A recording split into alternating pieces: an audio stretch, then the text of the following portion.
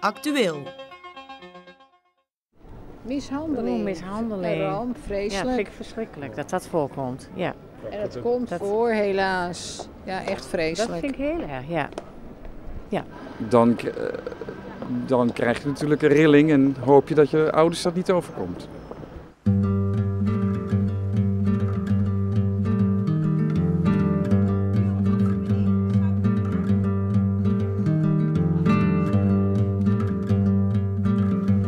Ouderenmishandeling. Een woord met een zware lading. Taboe. Toch komt het vaak voor. Ouderenmishandeling is dan ook een breed begrip. Het kan gaan om lichamelijke, psychische of materiële schade. Deze schade kan veroorzaakt worden door een professional die hulp biedt, maar ook door een familielid of vriend. Wij heel vaak in de praktijk tegenkomen als hulpverleners zijn eh, mantelzorgers die overbelast zijn. Die zorgen voor hun partner of die zorgen voor hun familieleden en het eigenlijk gewoon niet aankunnen. Zelf nog werk hebben, eh, hun eigen gezin hebben. In de vrije tijd gaan ze naar pa en ma om te helpen en die kunnen het gewoon niet aan. En die gaan bijvoorbeeld, als voorbeeld, gaan ze ze vastbinden. Van als we ze maar even vastbinden, gewoon even de handen of de benen, dan lopen ze niet weg als we er zijn. Dan kan ik ondertussen even de afwas doen en de was doen. En goed bedoeld, maar uiteindelijk valt het natuurlijk wel onder ouderenmishandeling. In alleen al de provincie Groningen wordt geschat dat er 4000 ouderen mishandeld worden. Van die 4000 gevallen zijn er slechts 13 meldingen binnengekomen. Nou, ik was wel verrast over het geschatte eh, aantal gevallen. Eh, de aanname is, op basis van dat onderzoek, dat er in Groningen, in de provincie Groningen, het gaat om gemiddeld zo'n 4000 gevallen per jaar. En alleen al in de stad Groningen om 1000 gevallen per jaar. Dat vond ik wel, eh, daar schrok ik wel een beetje van, ja. Maar echt heel veel feiten hebben we er niet over. Want het is nogal eh, een taboe.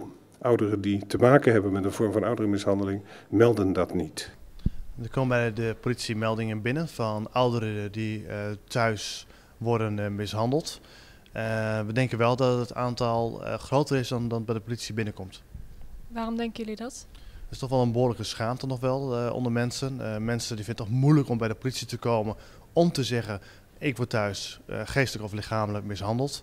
Ehm, vaak is er ook sprake van een afhankelijkheidsrelatie. Hè, waarbij je kunt zeggen dat de relatie is tussen de, degene, de oudere die mishandeld wordt... en een eh, hulpverlener of iemand die zeg maar, daar in de buurt staat. Ouderen gaan niet zich snel melden bij maatschappelijk werk.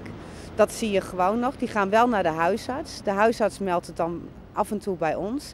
Maar er blijkt een taboe eh, op te zitten. Dat is heel moeilijk te doorbreken.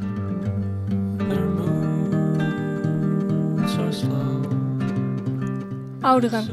Een hulpbehoevende bevolkingsgroep die steeds groter wordt. Dit zijn de mensen met levenservaring. Een eigenschap waar men vroeger respect mee afdwong. Tegenwoordig, met de vergrijzing, is dit vaak anders. Ouderen belanden in een verzorgingstehuis, waar ze afhankelijk zijn van de verpleger of worden verzorgd door hun kinderen, zogeheten mantelzorg. Vaak ervaren de mantelzorgers dit als een zware last. Ik heb een eh, vader meegemaakt die eh, bijna 90 was en waarvan de dochter eh, elke dag langskwam bij vader. Vader had een koophuis waar de vrouw is overleden, wilde daar absoluut niet weg, maar kon eigenlijk niet meer voor zichzelf zorgen. Wilde ook niemand in huis hebben. Dus alles kwam neer op de dochter. En de dochter had een fulltime baan, had twee kinderen, moest daar dus het huishouden doen en kon het eigenlijk niet aan. En werd hardhandig naar vader. En dat heeft eh, eh, een half jaar geduurd. Dat, dat sloopte langzaam, sloopt dat erin. En na een half jaar heeft zijn vader eh, een, een tik gegeven. Zo erg dat, het, dat hij met een blauw oog rondliep. Waardoor de buren het is op gaan vallen. Van wij maken ons zorgen, we zien die man niet meer. Nou, toen zijn wij erop afgegaan. En wat wij normaal doen is dat we mensen vragen, wilt u hulp? En wa- wanneer komen we langs?